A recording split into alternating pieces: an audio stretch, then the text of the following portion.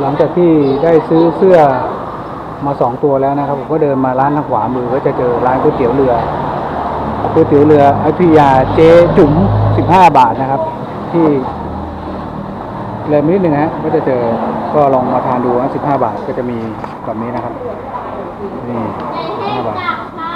ก็จะร้านเขาจะเป็นห้องแอร์ด้วย แล้วก็ไม่เป็นห้องแอร์เดี๋ยวท่านใดมา ทานก๋วยเตี๋ยวเรือเจ๊จุ๋มได้ที่นี่นะครับแล้วเราก็ทานก๋วยเตี๋ยวเรือนะครับหนึ่งชามหมดไปเรียบร้อยนะครับสิบเท่าไหร่ครับสิบห้าบาทนี่ครับสิบห้าบาทนะครับ แต่มือในนี้มันมีมันๆผมก็เลยไม่กินสิบห้าบาทนะจ๊ะค่ะขายดีนะขายดีขายดีนะดีค่ะร้านอะไรนะ ร้านเจ๊จุกเจ๊จุ๋มสิบห้าบาท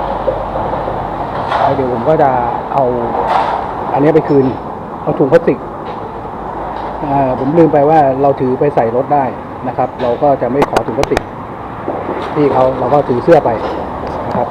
อ่าสำหรับร้านเจ๊จุ๋มนะครับก็ก็จะเป็นแบบนี้นะครับร้านเจ๊จุ๋มนี่อ่าหน้าร้านจะเป็นอย่างนี้ หน้าร้านเจ๊จุ๋มอืมหน้าร้านเจ๊จุ๋มนะครับท่านใดหิวก๋วยเตี๋ยวเรือราคา15บาทก็เรียนเชิญนะแบบนี้นั่งในนี่ในร้านเนี่ยเป็นในร้านในร้านร้านเจ๊จุ๋มนะ ผมก็มาทานนะครับ